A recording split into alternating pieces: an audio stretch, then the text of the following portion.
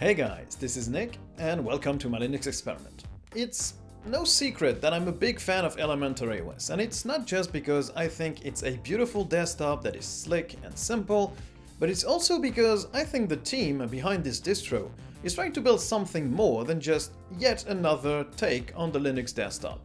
So I think it's time we take a look at what makes Elementary OS more than just another Linux distribution. Let's start right after this. Skillshare is an online learning community that gets you access to thousands of classes to learn a new skill, master a new hobby, or just improve on something that you already know, real-world skills or otherwise.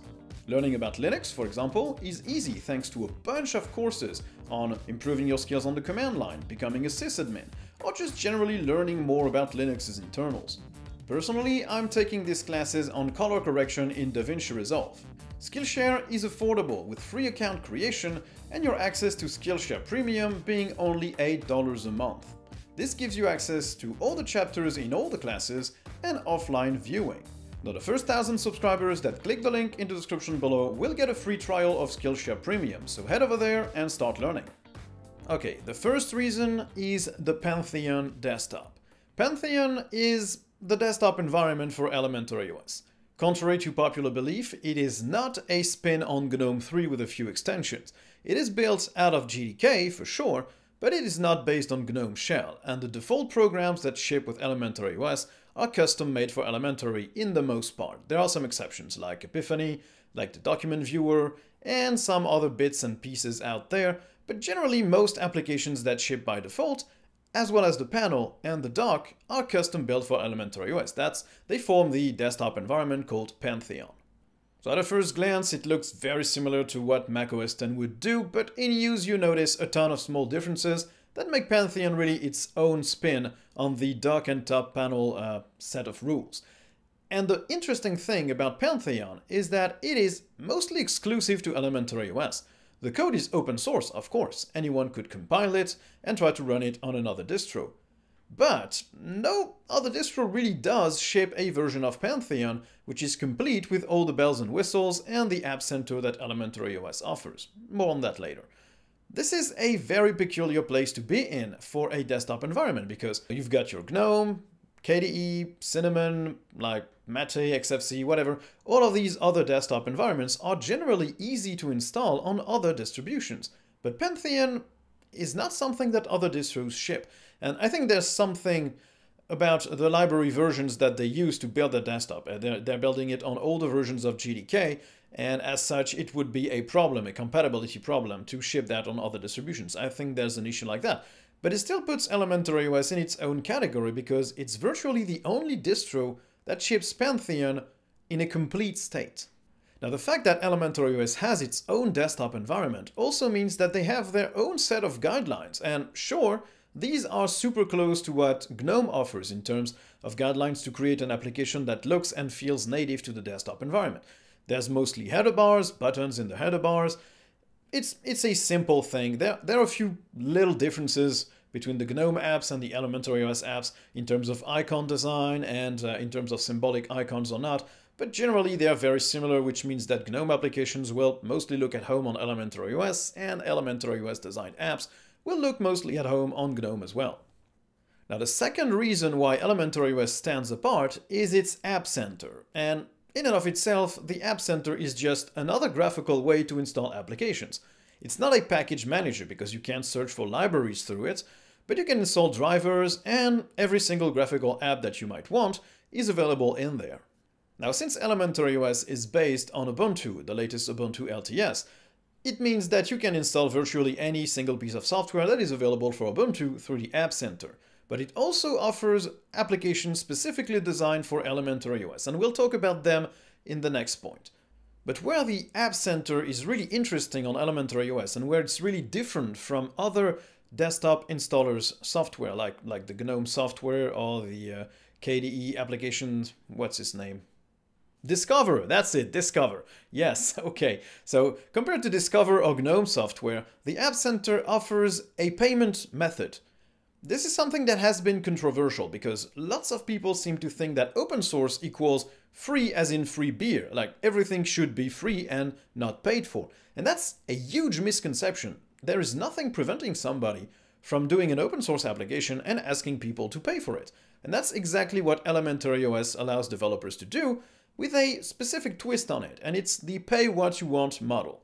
This model allows the developer to set an asking price, let's say for example $5, but a user can decide to give the developer whatever it wants. It, it can be $0, it can be a $100, there's no limit. You, you could say, I want to pay this app a $1,000 if you want. You could. Or you could just say, I don't know if I'm gonna like this app, I'm gonna give $0 for now, and if I like it, I can always pay for it later. This model is very interesting because it works within the open source development thing. Like, generally, if you're creating an open source app, the convenience of having the package is what you're paying for. Like having a pre-compiled package to download and install is generally what you're paying for because if you don't want to buy the package, you can always compile the code yourself. It can be tricky, not every single user will be able to do it, and Elementary OS allows users to kind of breach that barrier. Like, hey, okay, developers, you want some money for your hard work, it's normal, but I also want to make sure that the application suits a purpose for me before I buy it. Elementary OS is the only distribution where you can do that, and it's virtually the only distribution where you can actually buy software from a developer. Every other distro doesn't have something that you can pay for, and it's really strange to me. Now the third reason why Elementary OS is specifically positioned in terms of being a platform more than a distribution is with its own app ecosystem and SDK. Having its own guidelines and its own desktop environment, Elementary OS also has its own application ecosystem, and you might think, well, you can just use any other app, so why would you bother developing specifically for Elementary OS? And that question has an answer. 173, I think, or 178 apps have been specifically made for Elementary OS with their design guidelines in mind. So sure, these are simple one-purpose apps in true Unix philosophy, but they are awesome. They look good, they work well, and they fill their purpose really handily. So you're not getting anything as complex as GIMP or Krita or OnlyOffice or OpenOffice, LibreOffice, whatever. There's no super complex programs in there. But some ideas are big, like for example Akira, which aims to be a competitor to Sketch. And sure, it's still in alpha, but it's super promising. And you also have some really well-designed applications like Planner, which is basically the best to-do list management or project management application that you can get on Linux, period. These all emanated from the Elementary OS App Center and the Elementary OS guidelines. And now these apps can be developed using the Elementary OS SDK. SDK is a big word. It's basically a meta package you can install that installs all the libraries that you could use to develop an Elementary OS app. Elementary apps are developed mostly using Vala, which is the language that they recommend, and also using GTK and the Granite library, which is something that the Elementary OS team has added on top of the GTK widgets to offer more possibilities and more integration with the Elementary OS look and feel. Now the fourth reason why Elementary OS is kinda specific in the Linux distribution world is its semi-rolling release method, and Elementary OS is not the only distribution working like that.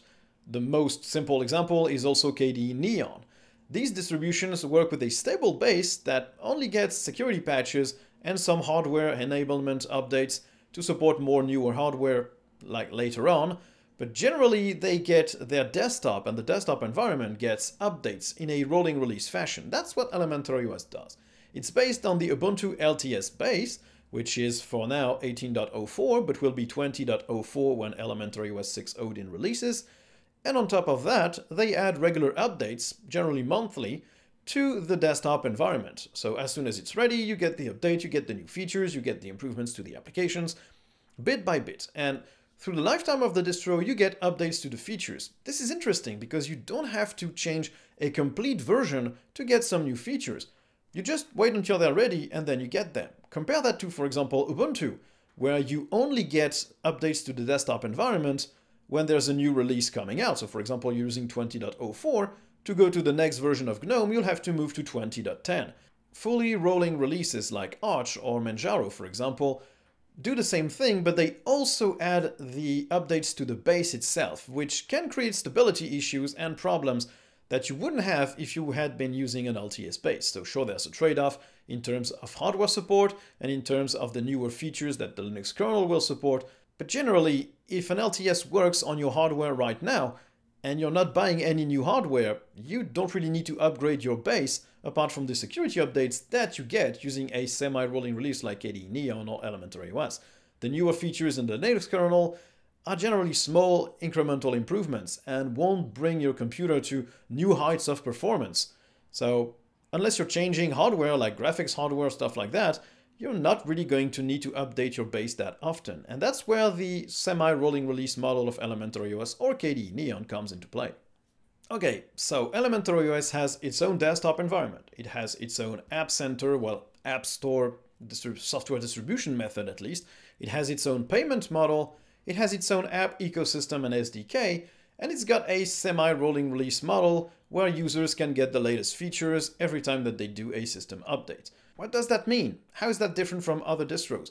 Well, it means that Elementary OS is uniquely positioned to not be just another Linux desktop distro. It's actually a platform. It's a platform for developers to develop applications, it's a platform for users to keep using that system and that desktop, getting updates, not having to wait too long, and having some specific features that you cannot find elsewhere. And the best thing is, this platform is open. Developers that decide to code their application for Elementary OS can also distribute them, and they do, on other software distribution platforms. Most of the Elementary OS specific apps are also available on FlatHub or through App Images. You can get these applications without using Elementary OS, but the best experience with these applications and the best system integration will be on Elementary OS. It's a win-win situation for users and for developers. But there's still a bit of an issue. Elementary OS is not independent. They are based on Ubuntu and on the Ubuntu LTS basis. This means that if Ubuntu makes a decision, for example, to completely remove all 32-bit packages from the repos, Elementary OS will have to follow suit because they don't have their own repos, they don't have their own base that they completely customize, they don't build their own packages. They're going to be dependent on what Ubuntu does, and they could always move to another base, but it's going to be tricky and it's going to imply a lot of underlying changes. To be completely independent as a platform, Elementary OS should have its own base, its own base made from scratch, its own packages system, its own repositories, but I really don't see them doing that anytime soon. It's a lot of work, the team is still pretty small in terms of employees for the Elementary OS company, and it would bring no benefit apart from not suffering dire consequences if Ubuntu ever makes a decision that the Elementary team doesn't agree with. Now apart from that, the Elementary OS team has it in the bag. They have their own app center, their own app ecosystem, which is growing. They have their own platform as an SDK. They have their own desktop experience, which is, in my opinion, the best for any kind of beginner or beginner user and the most simple to use. So generally, Elementary OS is at a unique position to become something more than just another Linux desktop distro. They can exist on the margins of what other distributions are doing and I think that's super important. And that's it for this video, guys. I hope you enjoyed. If you did, don't hesitate to like or dislike if you didn't. If you really did like the video, you can always subscribe and turn on notifications so you can receive more videos like this one. And if you want to help support the channel, you can join my amazing Patreon subscribers and YouTube members and get access to a weekly exclusive Patreon cast and the right to vote on the next topics I'll cover. Thank you guys for watching. I'll see you in the next one. Bye!